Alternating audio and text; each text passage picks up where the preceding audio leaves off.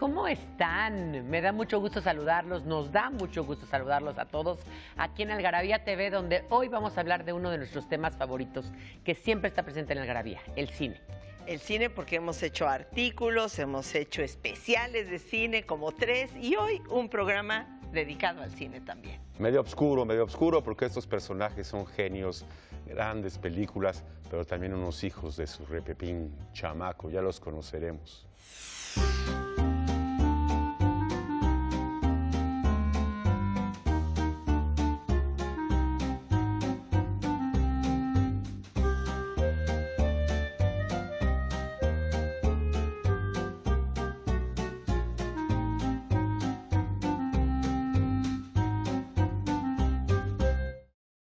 Pues ya estamos aquí en este programa de Algarabía TV dedicado al lado oscuro del cine, porque estos... Más que el lado oscuro del cine, son los Los cineastas, que han sido eh, obscuros, y no tanto porque sus películas sean obscuras, aunque Muchas sí. sí. lo son. Aunque sí lo son. Además coincide una cosa con otra, pero porque también ellos a la hora de filmar y de ser, hacer su chamba, son bastante hijitos de la fregada. Sí, por supuesto. Creo que hemos hecho un, en todas estas temporadas, creo que siempre hacemos un programa de cine, ¿verdad? Siempre Pues sí, es que es nuestro, mucho, nuestro sí. tema, nuestro tema. Nos gusta, tú eres impostor de las clases de cine y novela y no sé qué. Ya hasta conferencias, libro, del libro a la pantalla. Pantalla. ¿eh? Sí. ¿Y dónde se consigue? eh, Mira, este, este artículo está en una revista que me- es de esas que me encantó. Fue uno de los primeros especiales que hicimos. Es la 93 y solo la pueden conseguir en www.algarabía.com. Es una edición digital, entonces, este, pero es una joya. Este, este artículo fue ilustrado por Sergio Domínguez, que las hizo especial y los retrató. Y además para llegar nosotros, Marimel Montenegro, que soy yo, un pseudónimo mío con otros dos o tres personajes, que llegara, llegáramos a esta lista de cineastas del lado oscuro fue difícil llegar a esta lista porque Ah, pues claro. tuvimos que dejar muchos afuera, ¿no? A Todd Browning, por ejemplo, el de Freaks, que era dificilísimo, ¿no? Y ya nuevos ahora que están, obviamente está el, el, el Yorgos Lantimos, que no estaba Ah, en esta también, época, eh. que es el del sacrificio del siervo sagrado. que- y qué películas hace, esa, de- esa también de, Tooth- de este Dog Tooth. Algo se, me- algo se mete a ser gordolobo, no sé qué sea. Qué bárbaro, pero, pero, fumado, yo creo, o inhalado, porque qué cosa, Lántimos. Tiene unas cosas impactantes. Pero bueno, ¿por qué no entramos ya al tema? Número uno, Dígales quiénes son. Bueno, pero ¿cuáles son los nombres? Ah, ahorita nos vamos a ir uno por uno. Pero lo que dice la introducción es que, y como hemos hablado en otros programas, que tiene que ver mucho tu contexto, tu niñez, tu adolescencia, de cómo has sufrido o no sufrido las cosas, eh, ambiente familiar, etcétera. Mucha gente dice, este cuate no va al psicólogo porque todo lo plasma en, su- en- en sus películas y contra los actores, ¿no? Pero eh, es que ahí está el punto. Yo creo que son del lado oscuro por dos razones. Una, porque su cine puede ser oscuro, sus temas pueden ser oscuros, la forma de tratar los temas, porque el cine es, al ser el séptimo arte, no solamente es el guion o, o el tema en el que estás tratando, sino las palabras que utilizas, las escenas, el ambiente, puede ser gótico o no gótico, escoger ciertas cosas, sino que además no tener una buena relación o no han tenido una buena relación con sus actores. Y el, que vamos a poner primero que nadie y, les- y todos les va a sonar es el gran Lars von Trier, ¿no? el autor de Dogma, de este movimiento Dogma tan importante y de películas tan importantes como Melancolía, que es una película impactante, y como una película que se llama El Anticristo, que causó sensación porque está, la primera escena de la película están haciendo el amor eh, eh, esta niña, la hija de, ¿cómo se llama? La hija de Gainsborough, este, Charlotte Gainsborough, con William eh, Dafoe, y, y el hijito que tiene dos años, tres años, va caminando y le dejan el balcón abierto y se mata. La primera escena del anticristo. Luego sí hizo dos películas impactantes se llaman Infomanía, que son unas películas durísimas. Y luego, además de Melancolía, tiene otras películas como la- el, el Festejo y otras, porque él es danés, no le gusta viajar en avión. Y tiene una relación muy difícil. O sea, si tú lo ves su cara, si dices, qué tipo tan extraño, tan raro. Y su relación difícil con la vida, con el alcohol, con sus actores, con lo que hace, con lo que dice, ¿no? Este, fue expulsado del festival, por ejemplo, de Cannes alguna vez porque dijo que simpatizaba con Hitler, que co- lo comprendía, en, en fin, es un tipo muy complejo, muy complicado. Como Trier. ustedes pueden ver, eh, la voz cantante, ¿quién la va a llevar en este programa? ¿No? Porque la ¿Quién es la sabe- que más ha visto es la que cine de sabe- estos tres personajes? exactamente. Sí, dice que era, era pesador en la, en la- Pues mira, ya para tener declaraciones como esta que le valga madres en pleno Festival de Cannes, pues ya. Y además, ¿no? véanlo, googleenlo para que vean su cara. Exactamente. Personal. Ajá. Ahora te vas a Luego ir- viene Alfred Hitchcock. Pero sí es un bonachón, se ve en la pantalla, ¿cómo es posible que fuera que un hijo tenga de la esté en el lado oscuro, porque es autor de Rear Window, La ventana indiscreta. Bueno, lo de que, lo que él tenía, Psycho. porque sus películas además eran muy es- esas, ¿no? Rear Window, Ventana Ajá. Indiscreta y todas esas. Pero el problema no era solamente eso. Volvió loca a Tippi Hedren, la mamá de Melanie Griffith, la volvió loca en los ¿Cuál, en los pájaros? En los sí, la volvió, Volvió lo- loca. Era mujeriego. Parece que este, era medio ¿Cómo? abusador, medio abusador. Le gustaban mucho las güeras. No abusador como ahora. Este, bueno, no, no hablemos de ese tema. Sí, este, pues era como, este, Querendón, querendón, querendón. ojito alegre, Exactamente. rabo verde. En 1961 en, en, en Psycho, Ajá.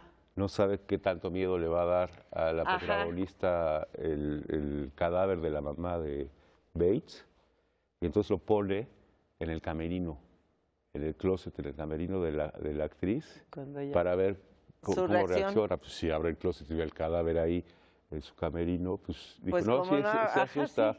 No, sí, se va a asustar. Sí, va a asustar. No, pero además era muy manipulador. O sea, a, a esta niña Grace de Mónaco la, la, la, la traumó en, en- en la ventana indiscreta, ¿eh? Sí. Y en la otra, M for Murder también. Era Lo que muy, muy complicada. Yo creo que, que tienen que, que ver y de repente este, puedes pensar en otros directores que hacen lo mismo, como Spielberg, que, eh, este, que lo de...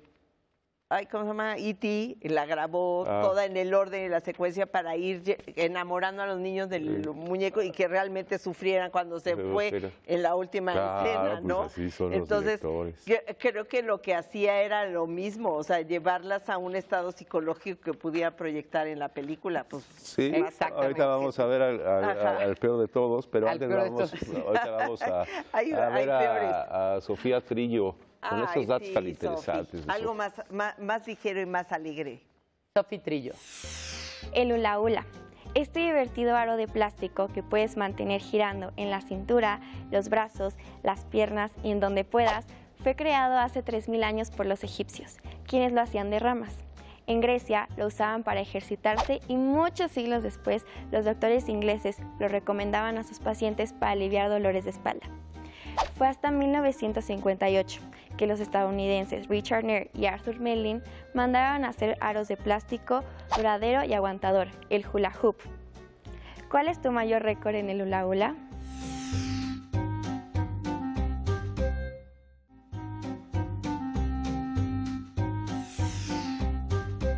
Aquí de retache en Algarabía TV por el canal 22 viendo a estos cineastas que le hacían pasar muy mal rato a sus...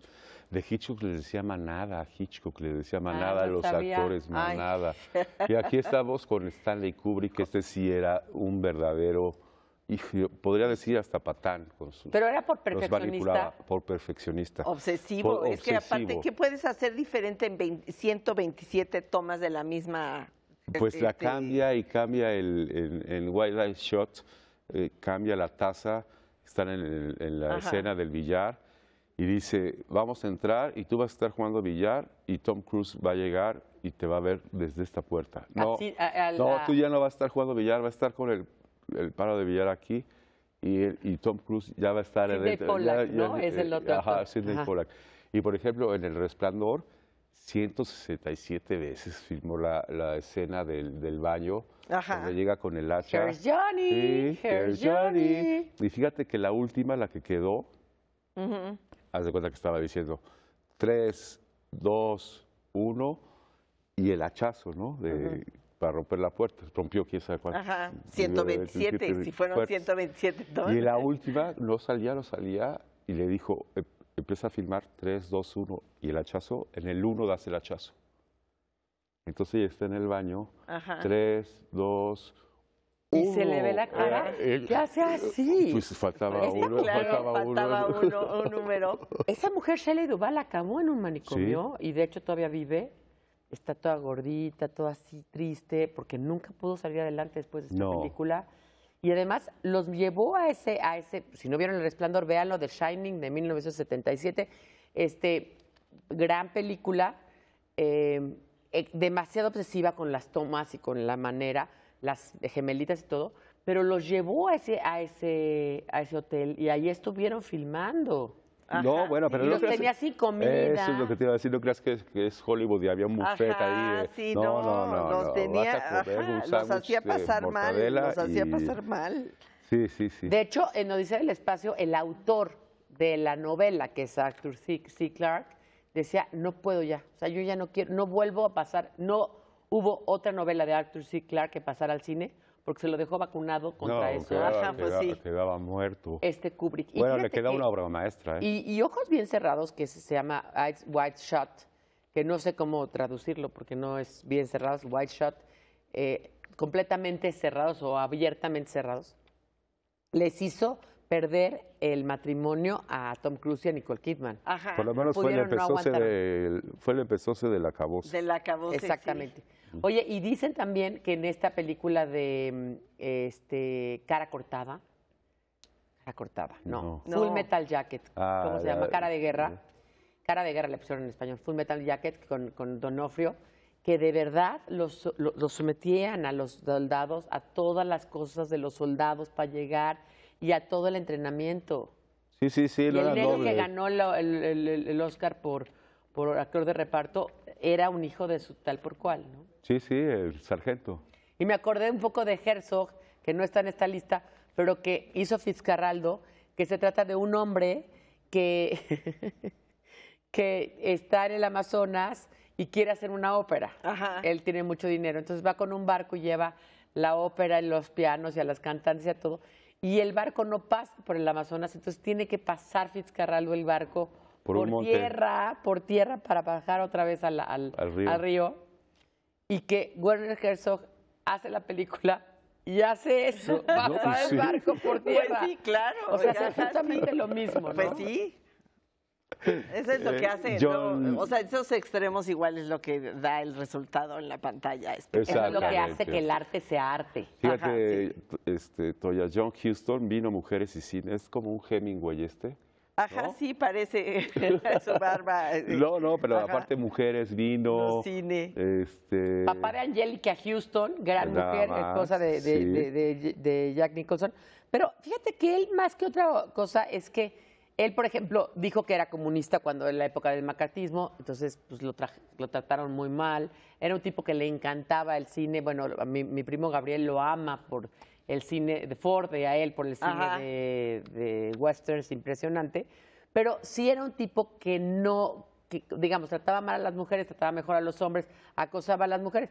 Y dicen que cuando estaba en Puerto Vallarta filmando La Noche de la Iguana, estaban Liz Taylor, Deborah Kerr, Ava Gardner, Sue Lyon y Richard Burton y les, les dio una, a cada uno una bala dorada, ¿no? Y este, con el nombre de cada uno. Entonces a cada uno les dijo que en la cena las llevaran las cuatro de los otros y no llevaran su propia. Entonces nadie sabía si iban a utilizar la bala en su contra o no. tener el nombre de Ajá, cada sí, uno. la tenían la- la bala Oye, Pero grabada. sí, no, no dejen de ver este el Halcón Maltés este, y, y African Queen. The African Queen. Las dos con Humphrey, con Humphrey Bogart. Oye, y luego tenemos, digo, rápido, Pierpaolo Pasolini, o lo dejamos o no lo dejamos Y- ah, para el próximo segmento, porque No, sí vale dejarlo para el próximo. Para el próximo segmento, porque ¿verdad? todavía faltan, faltan algunos más. Faltan algunos más, pero y también ya es oportuno mirar, escuchar y ver a nuestro científico de cabecera. ¿Cómo se llama? Arturo Gallegos García con un dato insólito Arthur de la Ashe. ciencia. Arthur Ashe, es negro, creo. Una falsa creencia común es que los rayos ultravioleta que emite el sol y que entran más fácil porque ya nos chingamos el ozono, son los únicos causantes del cáncer en general. Sí, al ser rayos más energéticos que la luz blanca, estos actúan como catalizadores para que las células presenten mutaciones más frecuentes. Sin embargo, una misma célula puede tener por defecto un error genético o transcribir mal el ADN, por lo que las mutaciones surgen por su culpa y eso no se puede controlar.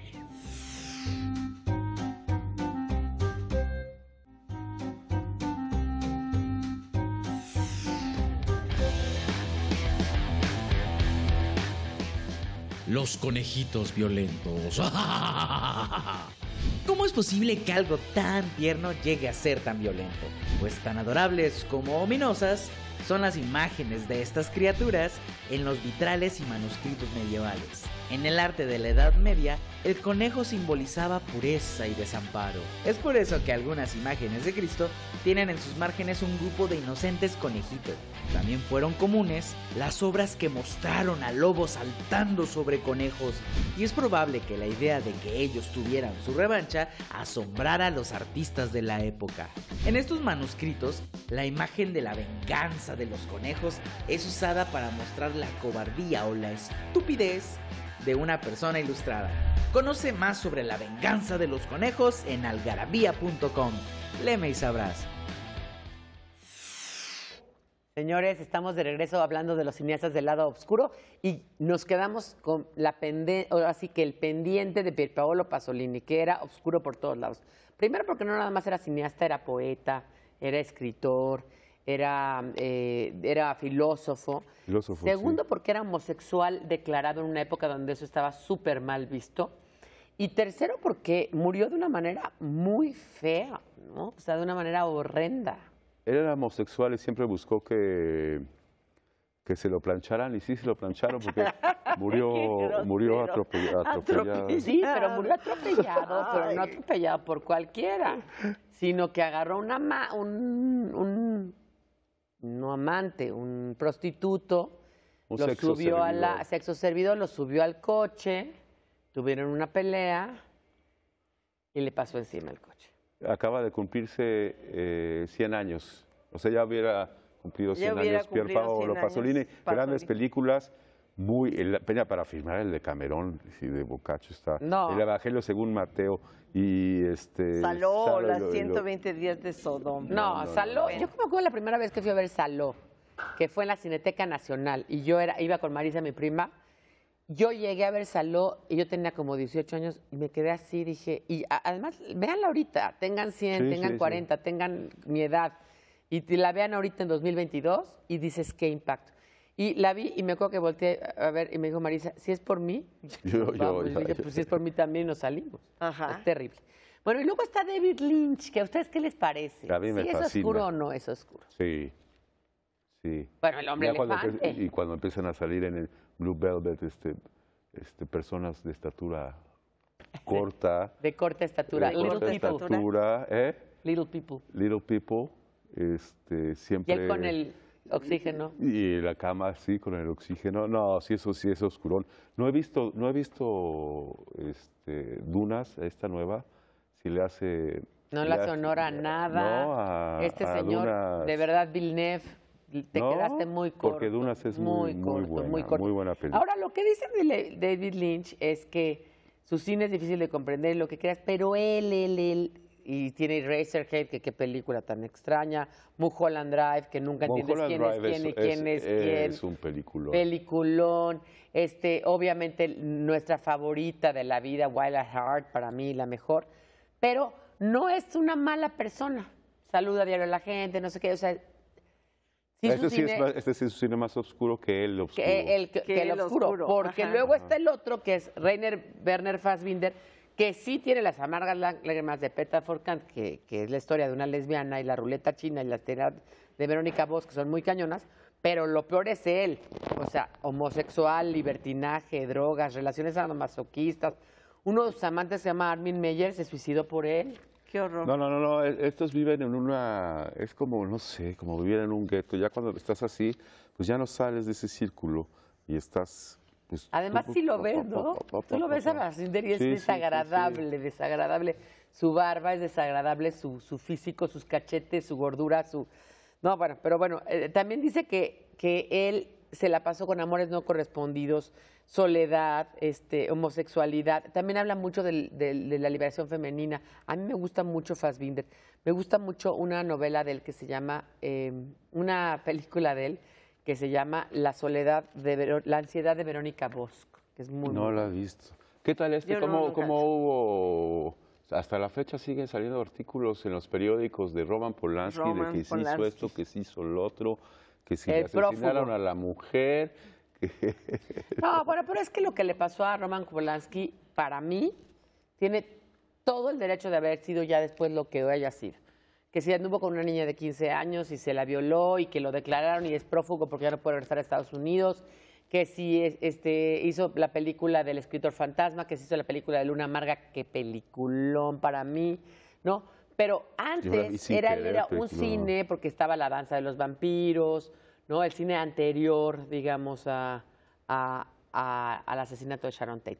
Sharon Tate era su esposa, eh, estaban esperando un bebé, eh, vivían en Los Ángeles y si no vieron, vean la película de otro cineasta del lado oscuro que es Quentin Tarantino, para mí overrated, pero sí del lado oscuro, que se llama Once Upon a Time in Hollywood con Brad Pitt y Leonardo DiCaprio, donde cuentan esta historia. Y bueno, pues esta Sharon Tate vivía ahí, en esta calle, en, en- en Los Ángeles, y un día en la noche llegan todo el grupito, el grupito de gente Charles. de la, de la, sí, de esta, de la de iglesia Secta. de Satán, esta secta de Satán de, eh, de Charles Mason que vivían en un rancho allá a las afueras de, de Los Ángeles Y y, la la, matan matan. a puñaladas a ella y al niño de una manera espantosa. Bueno, y luego eso, van y declaran que es cierto y se ríen en la corte. Sí, sí, y- estaban locos, pero eh, este, a favor, yo no estoy defendiendo a Roman Polanski, ni mucho menos, ni me sé bien la historia. Pero él como se va de prófugo, nunca se acaba de, de sentenciar nada. Entonces hay gente que lo defiende Ajá. porque no hay una sentencia definitiva de que sí se haya metido con una chava de 15 años. No, Nada más dic- quiero- dicen quiero- que, sí quiero- se, que sí se que- metió, ¿no? pero lo que no se sabe si es que abusó o fue de consenso. Bueno, no sé, En pero fin. bueno, pero gran, gran, gran Y además, cineasta. bueno, se gana el Oscar por el pianista, no puede ir por él, obviamente, No. una gran película. Y luego encontramos películas de él. Bueno, hay una película de él con, con, con el gran este, Harrison Ford y, y su exmujer Emmanuel Bert, increíble. Está Tess con Natasha Ah, Kinski, muy porque buena. anduvo con Natasha Kinski, estuvo casado con la hija de Klaus Kinski. Oh, Natasha Kinski, horrible. guapísima mujer. o sea, se causaba pura, pura, Y, pura y fea. luego tenemos películas actuales de Polanski, o sea, digamos, de Luna Amarga Él sigue, para él acá. sigue Ajá. filmando, No, sí. no, no, les digo, el escritor fantasma con este Pierce Brosnan. Y No, pero Luna Amarga se lleva eh, el, el- ¿cómo se llama? El, el actor en silla de ruedas se lleva el... el- Peter Coyote, Peter gran Coyote, actor, no gran, gran actor. Oye, se nos acaba Primera tiempo. película de Hugh Grant. Ajá. Este David Cronenberg, Michael Haneke, pero no podemos quedar un minuto. Luis Mijael Buñuel. Haneke, Mijael Haneke, Luis la Buñuel. pianista. Luis Buñuel. Luis Buñuel, sí, para su época. Pero no, fíjate que era buena gente, ¿no? Con las actrices y era, era un tipazo. Mientras él fuma, bebiera y, y fumara, no había. No Me había gustaría ninguna- decir lo que dijo la última vez cuando le dijeron que quiere recobrar su virilidad porque usted anduvo con, eh, con- con Silvia Pinal, con esta, con esta. Dijo, no, yo mi virilidad ya la dejé atrás. Yo lo que le pediría a Dios es más hígado y más pulmón para poder fumar Y y beber beber más. más. Y así nos vamos a tu dato inútil. ¿Cómo no? Mi dato, mi dato, que tanto gusta. Fíjense que en 1640, por orden del Papa Urbano VIII, les fue prohibido a los sacerdotes españoles fumar tabaco. ¿Y por qué nada más los españoles? ¿Y por qué nada más los españoles. porque fumaban como, ¿Qué? bueno, siguen fumando los sacerdotes españoles como, ¿Y como por qué tacuacos. 1640? Yo creo que hubo una, y según hubo una especie de sequía o no llegaron de las Indias el tabaco suficiente o había que Ah. dárselo a la nobleza o no sé qué, Oye, pero después y- se y desquitaron, si, ¿eh? ¿Y si eras español y vivías en otro país, podías fumar? Si eras sacerdote, no. Oye, y otra cosa, ¿y fumaban en pipa? ¿O cómo No. fumaban? ¿Ya puros? Sí. ¿Ya? Bueno, ya nos vamos. Pues ya, bueno, ya nos se acabó. ya nos vamos.